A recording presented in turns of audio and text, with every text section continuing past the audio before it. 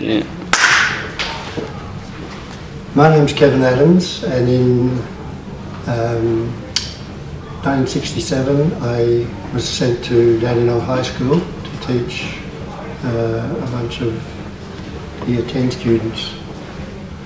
Uh, before that I'd been a primary teacher for 80 years, which was what I was trained to be, and now I suddenly found myself, um, because I wanted to do a degree in a high school, I had no idea how a high school operated, what the curriculum was like. Nobody seemed to worry about that. Um, I said, who will I be teaching? And they said, see that bunch of boys out there on the sitting on the seats around the oval? Um, you, they're, they're your class.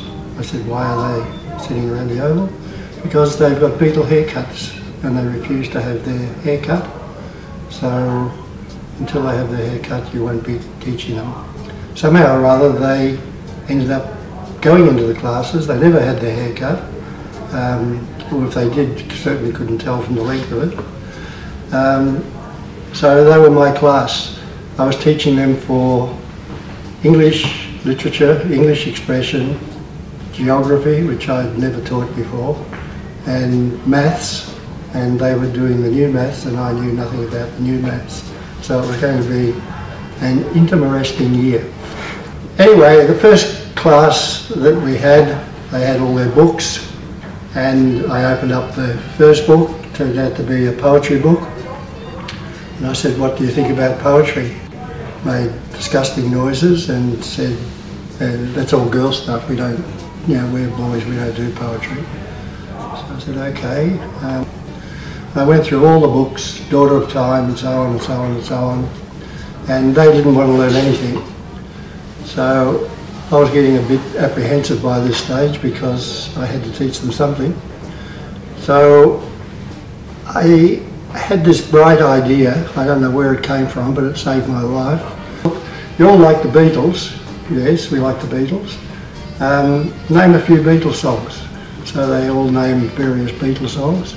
And I picked one of them out and recited the words of that particular song. Do you like the words? Yes. Do you like the feeling? Do you like, yes, yes, yes. I said, well, that's poetry. So we decided that the um, songwriters of that era were modern poets.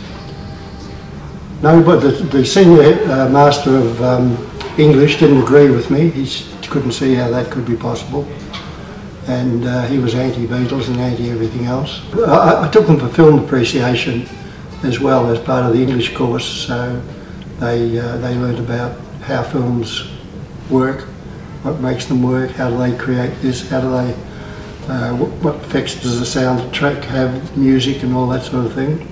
So they then said, can we make a film? I actually had a movie camera, but I hadn't used it much. I said, no, I don't know how to make a film but we'll learn together. So we made a film called Gooses on the Loose and they wanted to do things like how do you get to throw somebody over a balcony and then you see them on the ground dead. Uh, you know, how did we get that bit in between? So we made a dummy and they ran up, they had the person, threw the person towards the balcony, cut, cut the camera, go downstairs, put the dummy on the ground, roll camera again, the dummy gets thrown over,